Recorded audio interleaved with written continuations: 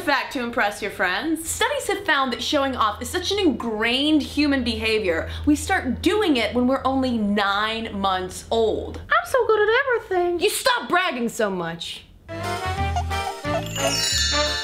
it comes to the science of showing off, bragging, boasting, self-promoting, whatever you want to call it, what we've known for a while is that humans really, really like to talk about themselves. An estimated 30 to 40% of our daily speech simply deals with what we're thinking, feeling, what we want to eat, what we want to do, what our dreams are. It seems that social media has only amplified our self-absorption in that up to 80% of what we're tweeting, status updating, Instagramming, etc. every day only deals with our self-observations and probably a lot of humble bragging. At Cristen Conger, just got an email from an astronaut, hashtag bucket list. At Cristen Conger, I just ran a two minute mile. At Cristen Conger, psych, you can't run a two minute mile, but seriously, that was pretty fast.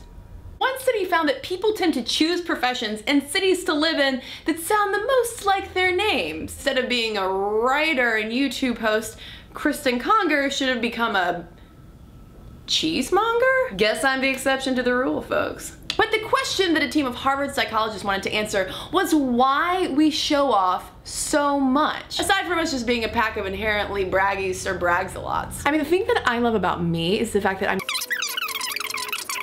people like have like big butts and they can't lie.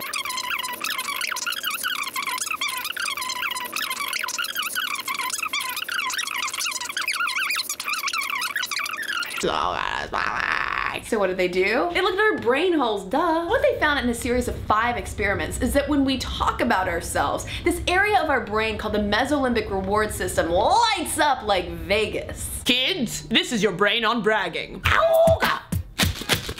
Nicknamed our brain's reward system, this is the same neurological area that activates when we do things that we really enjoy, like eating pizza or having sex or just fragging people in a video game. Not that I derive enjoyment out of killing fictional characters. This Harvard study found that the pleasure we derive from talking about ourselves is actually stronger than the pleasure we get from money. Specifically, these study participants sacrificed, on average, 17% of money these researchers were going to give them just to be able to talk about themselves more. So when it comes to the science of bragging and boasting, research suggests that sure, there are some social benefits that we can derive, such as elevating our status or fitting in more with a group by just talking about ourselves and what we like and what we're good at. More importantly, perhaps, it also just makes us feel really good. As in better than getting paid good. As in as good as eating pizza good.